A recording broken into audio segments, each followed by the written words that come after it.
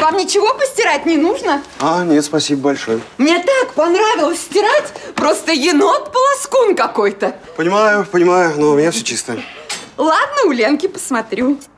У нее всегда куча грязных вещей, а на меня напал такой постирун, это что-то. Так бы стирала и стирала.